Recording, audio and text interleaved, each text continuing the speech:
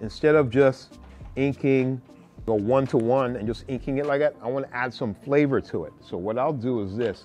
I'll take like that same shape that's there and I'm going to improvise a little. So I'll, I'll probably play around with it like that. See, I change, change the line a little bit and I'll maybe double up a little bit like this on the bottom line and then I'll push it here, maybe curve it out a little bit and then I'll, I'll probably close it out over here, something like that.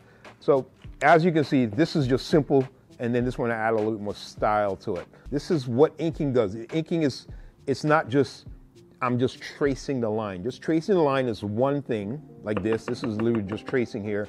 This is inking with style. You're adding a little bit more flavor, a little bit more, you're beefing it up. If you have a line here, instead of you're just inking it one time, you might want to double up on it like that and create a tiny little pockets, little little areas. Just let the line dance.